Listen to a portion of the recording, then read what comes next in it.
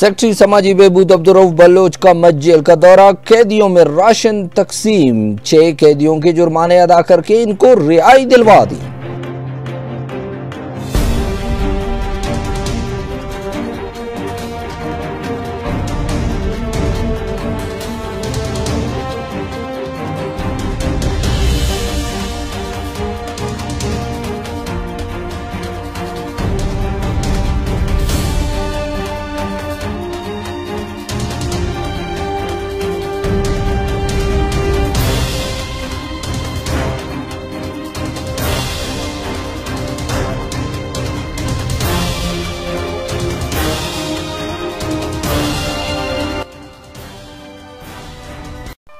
تفصیلات کے مطابق وزیر اعلیٰ بلوچستان جام کمال خان اور وزیر سماجی بہبود میر اسد بلوچ کی ہدایت پہ secretary social welfare Abdul Rauf Baloch نے ضلع کچی کے تحصیل مچ کا اچانک دورہ کیا، جس میں انہوں نے محکمے کی کارکردگی جانچنے کے لیے مختلف دفاتر سینٹر سمیت مچ جیل کا بھی دورہ کیا۔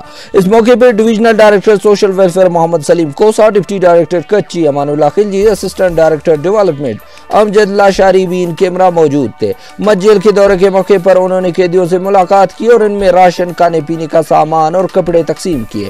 مجیل کی لائبریری ٹیکنیکل ویکیشنل سینٹر کی ابھی وزٹ کیا اور کارکردگی کو حوصلہ افزا قرار دیا۔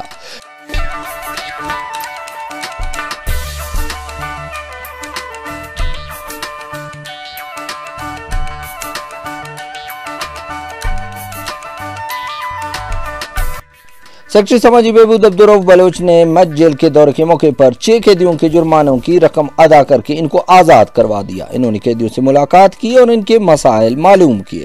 اس موقع پر سیکٹری سماجی بہبود کا کہنا تھا کہ وزیر سماجی بہبود میر اسد بلوچ کی خصوصی ہدایات پہ محکمہ سوشل ویلفیئر جیل میں قید لوگوں کی فلاح بہبود پر خصوصی توجہ دے رہی ہے۔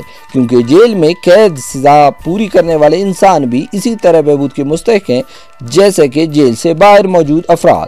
انہوں نے کہا کہ جیل کے ماحول کو انسان دوست بنانے پر خصوصی توجہ دی جا رہی ہے تاکہ جیل سے باہر آنے کے بعد یہ قیدی معاشرے کے ذمہ دار شہری بن سکے۔ انہوں نے کہا کہ جیل میں موجود قیدیوں کے لیے لائبریری اسی مقصد کی کڑی ہے۔ انہوں نے جیل انتظامی کی کوششوں کی بھی تعریف کرتے ہوئے کہا کہ جیل انتظامیہ قیدیوں کی تربیت اور اصلاح کے ساتھ ساتھ انہیں انر بند بنانے کے لیے جو خدمات انجام دے رہی ہے وہ قابل تعریف ہے۔ سیکٹری سماجی بہبود کا کہنا تھا کہ ہمارا دین ہمیں سب سے پہلے سبق انسانیت کا دیتا ہے اور محکمہ سوشل ویلفیئر، رنگ و نسل کی تفریق سے بالا تر ہو کر انسانیت کی خدمت کے لیے محدود وسائل کے باوجود اپنے تمام تر وسائل کو بروکار لاتے ہوئے ویلفیئر کے مختلف اسکیموں پر عمل پیرا۔